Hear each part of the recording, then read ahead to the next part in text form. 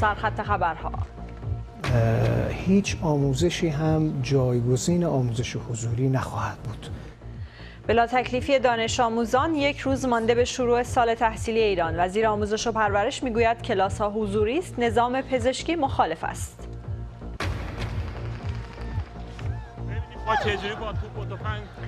شلیک به قصد کشت معترضان آبان 98 گزارشگر ویژه سازمان ملل می‌گوید ماموران امنیتی سر، گردن و قلب معترضان را هدف می گرفتند. گزارش نشریه های آمریکایی از توهین رئیس جمهوری به سربازان کشته شده در جنگ جهانی اول ترامپ می‌گوید دروغ است. و موج مهاجران اروپا و موج سواری سیاستمداران راستگرا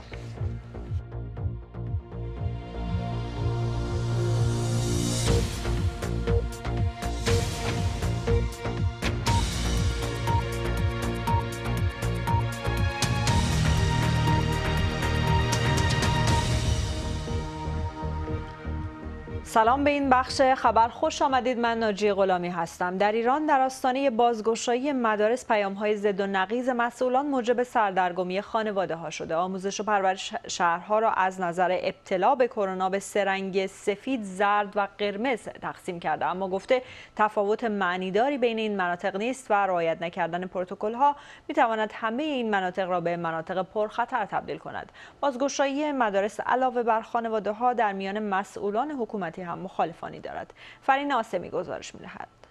هیچ آموزشی هم جایگزین آموزش حضوری نخواهد بود. تاکید دوباره وزیر آموزش و پرورش بر اولویت آموزش حضوری یک روز مانده به موعد بازگشایی مدارس. بنابراین در همه مدارس کشور یک پروتکل باید ارائه بشه. اون پروتکل شامل این هست که بین دانش آموزان حداقل یک متر فاصله باشه. زمان کلاس از 35 دقیقه طولانی تر نشه.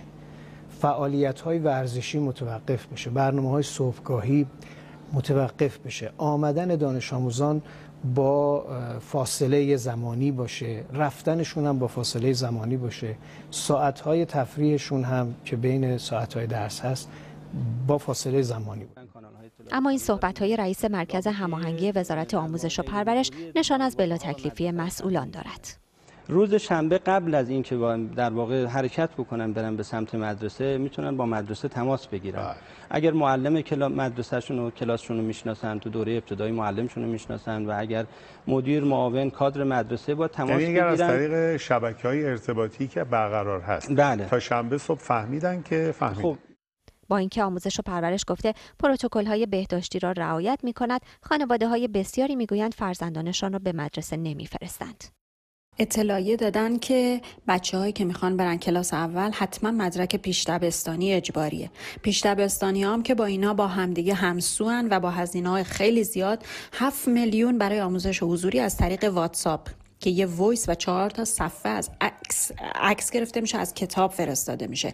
اون وقت اگر نیان کلاس اول ثبت نام نمیشن. من یکی اگر بچم 20 سالم توی این سیستم درس نخونه توی این شرایط کرونا هیچ کدوم از این مراکز نمیفرستمش. غیر از خانواده ها هستند مسئولانی که با بازگشایی مدارس مخالفند. رئیس مجمع عمومی سازمان نظام پزشکی از ستاد ملی مبارزه با کرونا خواسته از بازگشایی حضوری مدارس جلوگیری کند. دستور وزیر آموزش و پرورش برای بازگشایی حضوری مدارس با شرایط حاکم بر همهگیری ویروس کرونا و وضعیت قرمز بسیاری از مناطق کشور همخوانی ندارد. به خطر انداختن جان میلیون ها دانش آموز و آموزگار و خانواده هایشان می تواند در کمترین فاصله زمانی به یک فاجعه انسانی تبدیل شود. این هم واکنش نماینده گرمسار و آرادان در مجلس به بازگشایی مدارس و تذکر به رئیس جمهوری. درباره کلاس های حضوری مدارس به آقای روحانی تذکر جدی می دهم. هر آنچه برای خود میپسندید برای دیگران هم بپسندید. شما حتی افتتاحیه مدارس را هم حضوری نمی روید مجلس هم نیامدید. پس بچه های مردم را مجبور به کلاس حضوری نکنید. در کنار آموزش حضوری مدتی صحبت از آموزش آنلاین هم می شود. حالا وزارت آموزش و پرورش گفته نسخه جدید اپلیکیشن آموزشی شاد را هم رونمایی کرده و کار دانش آموزان و معلمان راحت تر خواهد شد.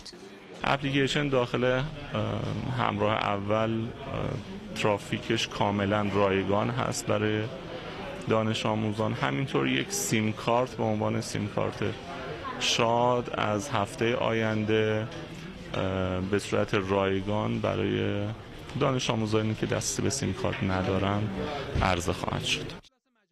اما انتقادهایی که به شبکه شاد می شود همچنان پابرجاست. در برخی مناطق محروم دانش آموزان دسترسی به اینترنت ندارند. همه دانش آموزان تبلت یا گوشی هوشمند ندارند و سرعت اینترنت در بیشتر شهرها پایین است. وزیر آموزش و پرورش گفته اگر نیاز به تغییر تصمیم آموزش حضوری باشد این تصمیم انجام خواهد شد. اما گفته عقب ماندن فرزندان از تحصیل خطرناکتر از کرونا است. گفته ای که بسیاری از خانواده ها با آن مخالفند. فرین آسمی بی بی سی. در مورد نگرانی های پدر مادرها از شروع مدارس مخاطبان بی بی سی فارسی نظراتشون رو برای ما فرستادن. به چند تای اونها گوش کنیم. من مادر یک بچه کلاس اولی هستم. که تهران زندگی می‌کنیم و نمی‌دونم که چطور تو مملکتی که برای برگزاری کنکور سراسری که بچه های 18 ساله می‌خواستن شرکت کنن. یک روز توانایی زدن ماسک رو داشتن می‌تونستن شیلد بزنن. من سوالم اینه که اگه که یه بچه ای که یه جوون 18 ساله انقدر در خطره اگه بره یه روز امتحان بده با رعایت فاصله گذاری اجتماعی یه صندلی بینشون فاصله باشه چجوری بچه 6 ساله که هیچ کدوم از این پروتکل های بهداشتی و قادر نیست اصلا به خاطر سنش رعایت کنه چجوری ما اعتماد کنیم به هفته دو روز تو تهران که قرمزترین وضعیت رو داره بفرستیم به مدرسه؟ ظرف نصف روز تصمیم گرفتن با یه روش جدیدی بچه های ما رو ببرن مدرسه. بدون اینکه اونم حتی در مناطق قرمز. آیا درسته وقتی که در ایام آشورا رهبر مملکت ما می در یه حسینیه ایشون میشینه از نوخون و از مداح 20 متر فاصله داره هیچکی دور برش نیست ماسکم زده. بچه من بلند شه بره توی یه دونه کلاسی با چندین نفری که معلوم نیست 15 16 20 نفر هر کدوم به چه صورتی این دوره رو گذروندن و چه جوری دارن رعایت می‌کنن. بعد بیاد توی خونه. آیا این درسته که آدم چیزی رو که برای خودش نمیپسنده برای دیگران بپسنده؟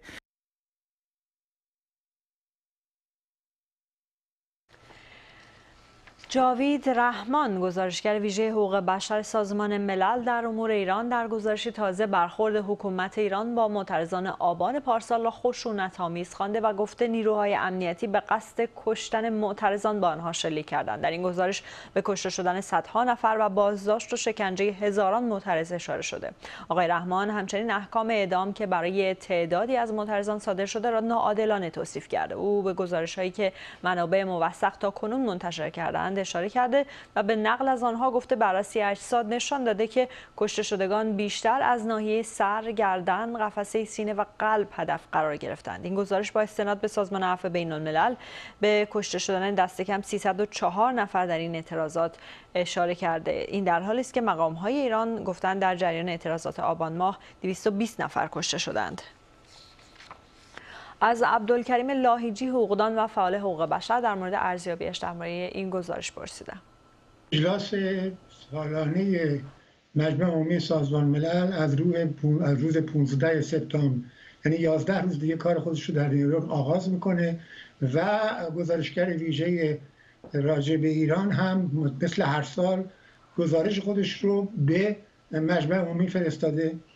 و توجه داشته باشید که این درست مقارن با تقریبا دو ماه پیش از سالگرد کشتار بزرگ آبان گذشته. به خاطر همین در گزارش آقای جاوید رحمان که گزارش راجع به وضعیت حقوق بشر در ایرانه و نه فقط راجع به مسئله کشتار آبان 98 با توجه به اینکه هم گفتم دو, دو, دو ماه مانده به سالگرد این کشتار و هم با توجه به ابعاد وسیع و گسترده این فاجعه. بنابراین توجه بیشتری به این کشتار داده شده و همونطور که شما اشاره کردید اون چیزی که حائز بسیار اهمیت است این هستش که گفته شده از بیش از 300 تنی که کشته شدن یک سوم اینها گلوله به بالاتر از کمر. یعنی ناحیه سینه سر و صورت خورده و این نشون بده که کسانی که در حال زاربان کسانی که حالا مامور انتظامی بودند یا پاسدار بودند یا بسیجی بودند اینا به قصد کش تیراندازی کرده بودند. و به خاطر همینم ابعاد کشتار متاسفانه خیلی وسیع بوده. ولی اون چیزی که باز حائز اهمیت هست این هستش که بعد از ده ماه هنوز جمهوری اسلامی یعنی مقام مسئول جمهوری اسلامی نیومده و گزارش رسمی بده درباره تعداد کشته شده ها تعداد دستگیر شده ها و به موازات اون نه فقط سکوت کردن که همطور که اشاره کردید تعدادی از کسانی هم که متهم بودند به شرکت در این تظاهرات و در زندان بودن اونها رو هم محکوم به اعدام کردن. با وجود این واکنش دولت ایران که شما بهش اشاره کردید به نظر میاد که همینطور در گزارش های جدید گروه های حقوق بشری ما همینطور جزئیات به جزئیات تازه و بیشتری دسترسی پیدا می‌کنیم از اتفاقات آبان ماه. فکر می‌کنید که دلیلش چیه؟ ببینید دلیلش اینه که الان رسانه های خبری شبکه های اجتماعی به حدی در ایران گسترش پیدا کرده مثل در همه جهان که دیگه خبر رو دولت ها نمی‌تونن خفه کنن مکتوم نگه دارن. در این خبر مخابره میشه. به سازمان های حقوق بشر فرستاده میشه. به گزارش گزارشگر ویژه داده میشه. وقتی که اسنادی به آقای جاوید رحمان دادن که اون اسناد نشون میده که نحوه تیراندازی چگونه بوده علت مرگ چی بوده برای این نشون می‌دهد که جمهوری اسلامی با تمام کوششش کرده برای پوشاندن در حال چه این جنایت چه گسترده گستره و ابعاد این جنایت در کوشش موفق نبوده و خب به خاطر همین هم این گزارش امروز منتشر شده و همینجا اشاره می‌کنم که باید منتظر تشکیل مجمع عمومی بود.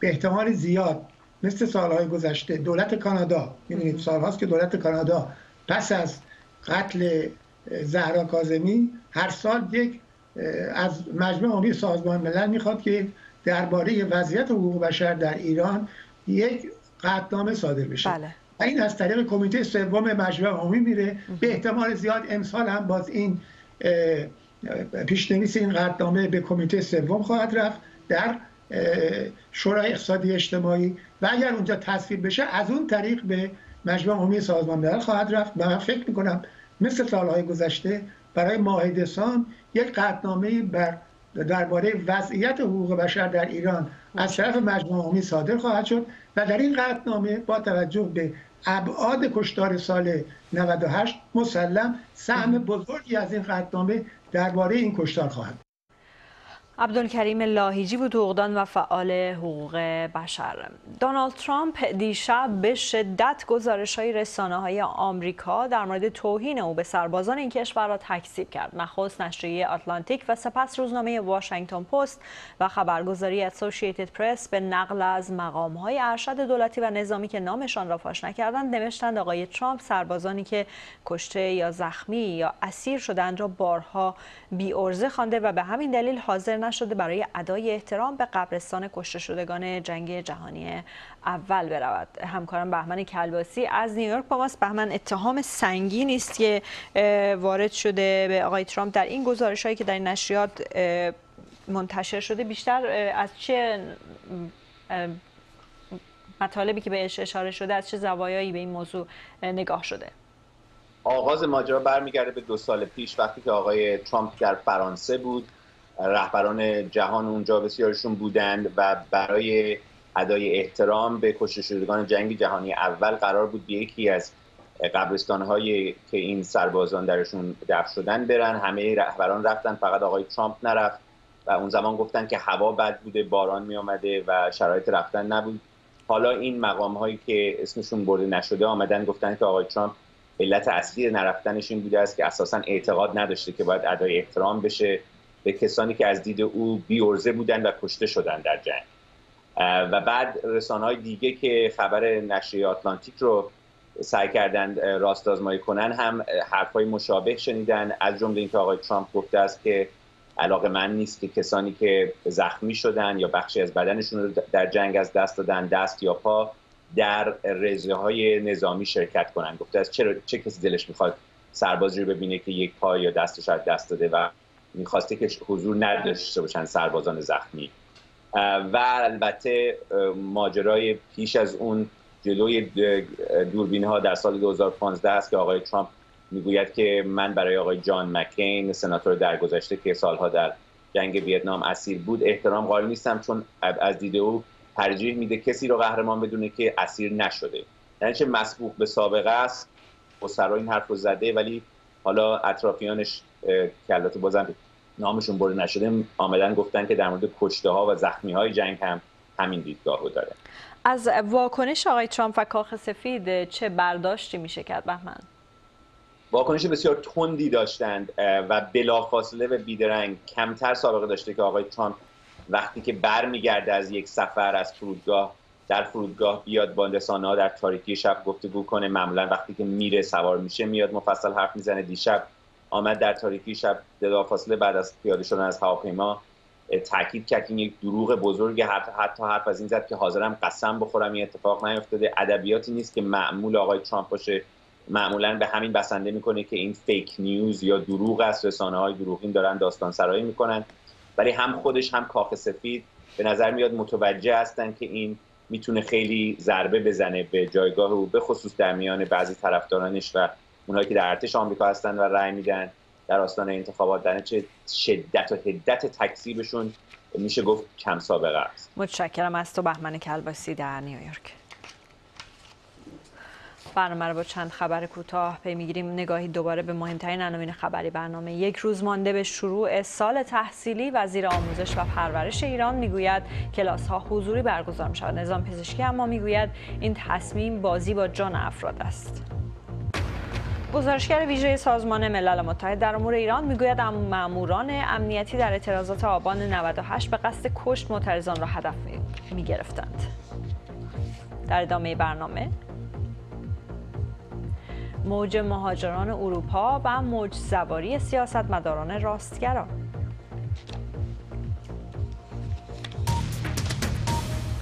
بسیاری از کشورها به شرایط پیش از همهگیری کرونا بازگشتند. خیلی از محدودیت ها لغو شده و بازگشایی مدارس در بسیاری از کشورها چهره شهرها را عادی نشان می‌دهد. اما در پشت این ظاهر عادی نگرانی های جدی وجود دارد. شیدا هوشمندی گزارش می‌دهد.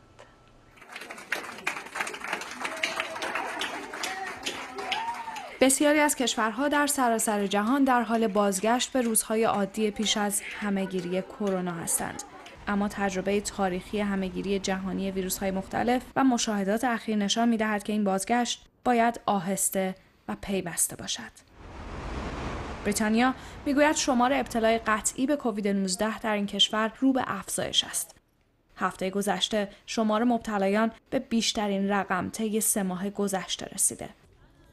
حالا مدارس در این کشور باز شدند آن هم بعد از بیش از شش ماه تعطیلی رعایت قوانین بهداشتی را با دقت بیشتری پیگیری می کنیم. مراقبیم بچه ها دست خودشون رو بیشتر بشورن و کنار هم ننشینن. به معلم ها آموزش دادیم که به بچه هایی که با شوک روانی بازگشت به مدرسه و ترس از کرونا مواجه هستند رو کمک می کنند. سازمان آمار ملی بریتانیا می‌گوید همزمان با بازگشایی مدارس نیمی از دانش آموزان نگران ابتلا به کووید 19 هستند. نگرانی آنها بیراه نیست. گفته می شود در برخی مناطق بریتانیا به ویژه در شمال این کشور میزان ابتلا به قدری بالا رفته که ممکن است قرنطینه اجباری دوباره برقرار شود. جدا از بالا رفتن شمار مبتلایان، ابعاد خطرناکی از کووید 19 در حال روشن شدن است.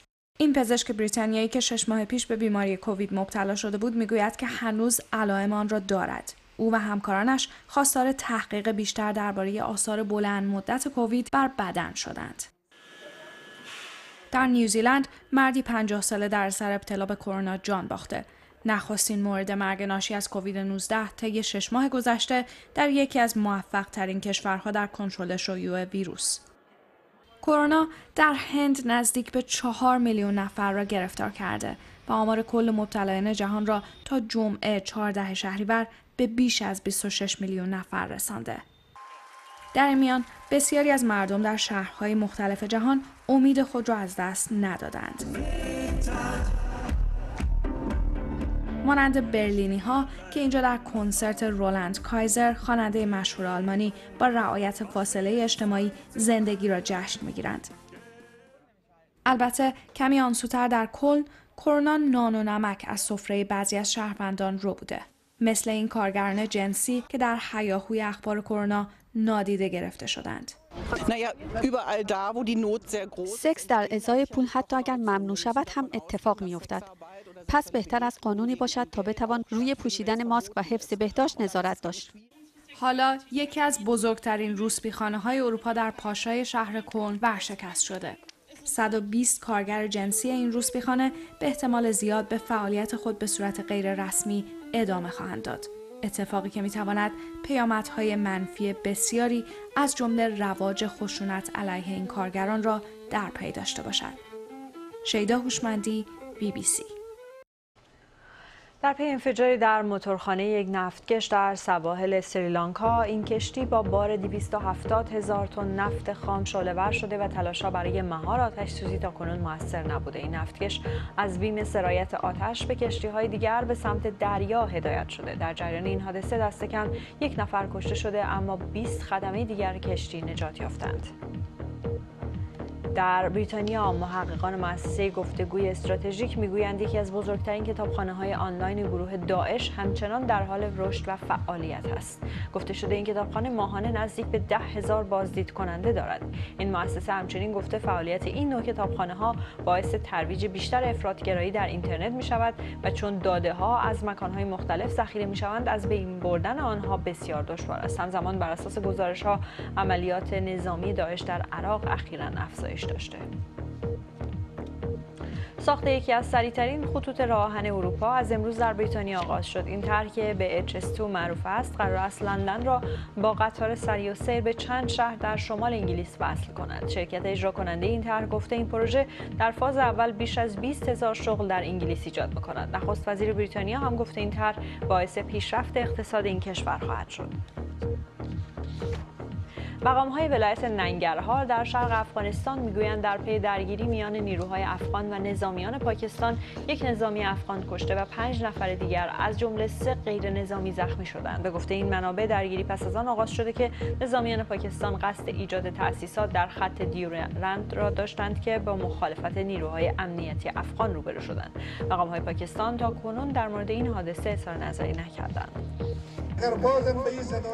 شماری از شهروندان غزنی در اعتراض به آنچه افزایش ناامنی ها در این ولایت می‌خوانند خیمه تحسن برپا کردند. این معترضان صبح امروز شاهراه عمومی کابل قندهار را که از شهر غزنی عبور می‌کند مسدود کردند. این افراد می‌گویند جنگ به داخل شهر کشیده شده و انفجار بمب و قتل‌های هدفمند افزایش داشته. همیرا نکت دستگیرزاده شاعر شناخته شده افغانستان به علت بیماری سرطان در 60 سالگی درگذشت. او که در کابل به دنیا آمده بود در دو دهه گذشته با خانوادهش در هلند زندگی می‌کرد. خانم نکت سال 1339 در کابل به دنیا آمد و دارای مدرک دکترای ادبیات از دانشگاه سوفیا در بلغارستان بود.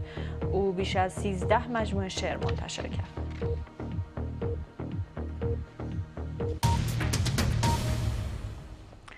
پنج سال از زمان اوج بحران پناهجویان در اروپا گذشته. حالا یک بار دیگر موج تازه مهاجران آتش اختلافهای سیاسی را برافروخته. در ایتالیا های محلی بار دیگر اعلام کردند که توانایی مقابله با این موج را ندارند. موج پناهجویانی از شمال آفریقا که تلاش می‌کنند با عبور از دریای مدیترانه خود را به اروپا برسانند. گزارش مارک لوئن خبرنگار بی بی سی به سیسیل و جزیره کوچک لامبدوسا رو ببینیم که به اونجا رفته. لذت داشتن شانسی برای زندگی. بعد از تولدش در یک قایق نجات ایتالیایی در سال 2015 نامش را فرانچسکو میرکل گذاشتند یعنی معجزه زمانی که مادرش از لیبی فرار کرده بود. تشنج داشت و در بخش مراقبت های ویژه بود. بی بی سی در آن زمان با آنها ملاقات کرد. حالا در سیسیل ساکن شدند. دوباره به سراغشان آمده ایم. Ciao Francesca, sono Mark. Come stai? Was everything you went through worth it? آیا با همه چیزایی که از سر گذروندین میارزید؟ آره ارزششو داشت. خیلی ها آرزوشو دارن جای من باشن. میگن من بچه هم حالا اینجان. فکر می‌کنن من خوششانسم. می‌دونید فکر می‌کنم برای همین باید خوشحال باشم در میان میلیون ها پناهجوی بودند که در اوج بحران پناهجویان در سال 2015 خود را به اروپا رساندند چیزی که سیاست و جامعه را تغییر داد هزاران نفر در راه مردند بینام و نشانهایی در گورستان دریای مدیترانه پنج سال گذشته و موج مهاجرت ادامه دارد. اردوگاه لامپدوزا در جنوب سیسیل شلوغ است و تحت مراقبت شدید. از اول امسال تا حالا تعداد افرادی که به اینجا رسیدن یک سوم سال 2015 با این حال ظرفیت این اردوگاه پر شده. شیوع کرونا از یه طرف و زنده شدن تنش‌های ضد مهاجران در ایتالیا هم فشار بر مهاجرهایی که به خاطر شرایط بد اقتصادی از کشورشون فرار کردن و بیشتر کرده. در شرایط فلاکتبار مهاجران می‌گویند اینجا چند مورد کرونا دیدند فشار برای تمیز کردن اردوگاه بالا رفته. جایی که دروازه مهاجران به اروپا است. حمزه می‌گوید می‌خواهد کار کند و برای زن و دخترش در تونس پول بفرستد. ما خطر مردن در دریا رو به جون خریدیم. حالا هم خطر مردن از کرونا در اینجا رو به جون می‌خریم. بدبختی در کشورمون رو پشت سر گذاشتیم. اگه می‌دونستم اینجا هم بدبختی داریم در تونس میموندم. زندگی در اونجا بهتر از این وضعیته. در سیسیل هم انتظار موج مهاجران می رود. این اردوگاه را در یک پایگاه هوایی بلا استفاده ساختند برای قرنطینه کردن مهاجران. کاری که انتقاد شدید مخالفان راست افراطی را برانگیخته. اتحادیه اروپا ایتالیا رو به حال خودش گذاشت تا بحران رو حل کنه. همزمان ایتالیا هم مناطق خودش مثل سیسیل رو رها کرده. که این خطری برای نظم عمومی و حالا برای سلامت. از او می‌پرسم آیا با صحبت کردن از تهاجم شعله های نجات پرستی را مشتعل نمی کنند؟ نه اگه انگلیسی ها یا فرانسوی ها به همون حمله کرده بودند همین زبون رو استفاده می کردیم اگه فردا هزار تا فرانسوی وارد سیسیل بشن من اسمشو می‌ذارم تهاجم. بعضی از مهاجران اینجا ساکن می شوند. این مرکز زبان ایتالیایی یاد می دهد و همزمان آنها را آماده می کند تا در تار و پود ایتالیایی مدرن تنیده شوند. داستان امنیت، ادغام و هویت تمامی ندارد. مارک لوین بی بی سی نیوز سیسیل رسیدیم به پایان این بخش خبر ممنون که بیننده تلویزیون فارسی بی بی سی هستید